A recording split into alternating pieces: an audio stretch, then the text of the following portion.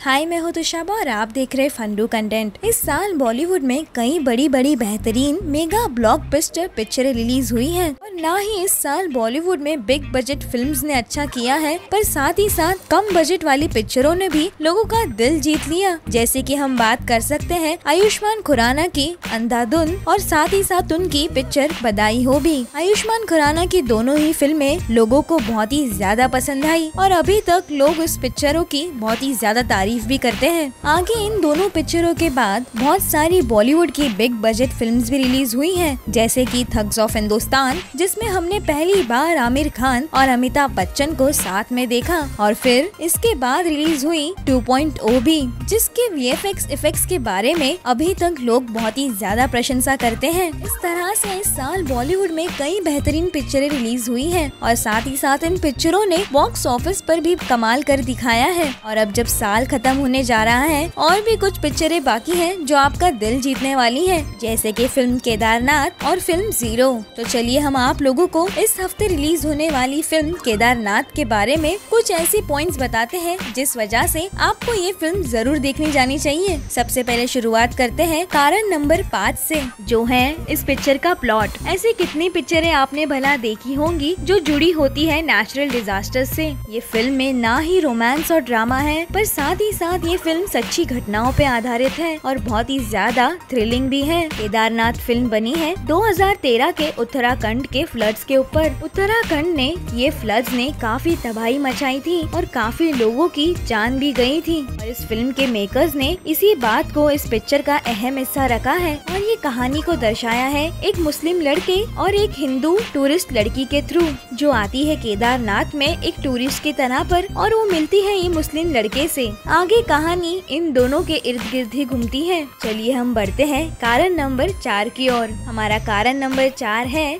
सारा अली खान। जी हाँ आप सही सुन रहे हैं। हमारी नई डेब्यूटेंट सारा अली खान को देखने के लिए सभी लोग उत्साहित हैं। नवाब फैमिली से जो बिलोंग करती हैं, सैफ अली खान और अमृता सिंह की ये बेटी पूरी की पूरी अपनी माता के ऊपर गई है। सारा अली खान अपनी माता की तरह ही दिखती है। और सभी देखना चाहते हैं सारा अली खान को बड़ी स्क्रीन पर सारा अली खान ने इस पिक्चर के लिए काफ़ी मेहनत करी है। हमने हाल ही में सारा अली खान को कॉफ़ी विद करण ने भी देखा था और वहीं पर देख के हम समझ गए, सारा अली खान ने इस फ़िल्म के लिए काफ़ी मेहनत करी है और वो बहुत ही अच्छी तरह से प्रिपेयर भी होके आई है।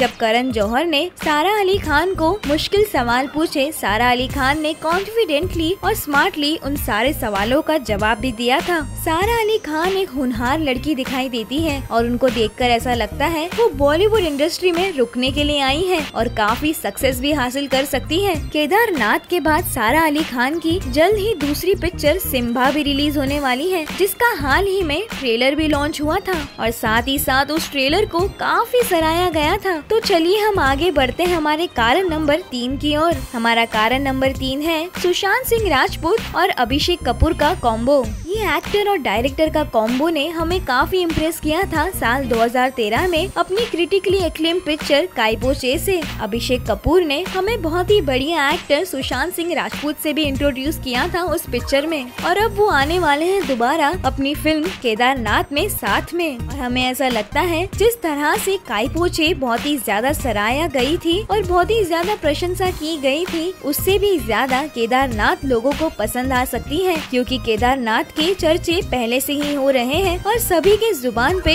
ये अड़ी हुई है। सभी देखना चाहते हैं, वापस से क्या कमाल करते हैं अभिषेक कपूर और सुशांत सिंह राजपूत साथ में। आगे बढ़ते हमारी फ़िल्म के दूसरे कारण की ओर, जो है इस फ़िल्म के थ्रिलिंग मोमेंट्स इस फ़िल्म में काफ़ी ऐसी चीज़ें हैं जो आपको चौंका देगी और आपको डरा भी दे सकती है। इस फ़िल्म के वी एफ़ एक्स इफ़ेक्ट बहुत ही ज़्यादा खूबसूरत है। इस फ़िल्म के डायरेक्शन की वजह से आप अपनी कुर्सी के एज पे ही बैठे रहेंगे पूरी पिक्चर के दौरान। और जैसे कि हमने आपको बताया, ये फ़िल्म बनी है नेचुरल डिजास्टर पे तो आप सोच ही सकते हैं कितने रोमांचक सीन्स होने वाले हैं ये पिक्चर में। आगे बढ़ते हैं कारण नंबर एक की ओर। हमारा कारण नंबर एक है, इस फ़िल्म को जुड़ी हुई सारी कंट्रोवर्सीज जब से केदारनाथ बनना शुरू हुई है, तभी से केदारनाथ को जुड़ी हुई काफ़ी कंट्रोवर्सीज मीडिया में सामने आई है। और हाल ही में अभी अभी एक कंट्रोवर्सी आई थी लव जिहाद के बारे में, कि लोग कहते हैं, ये फ़िल्म लव जिहाद को प्रमोट करती है। पर मैं आपको बता दूँ,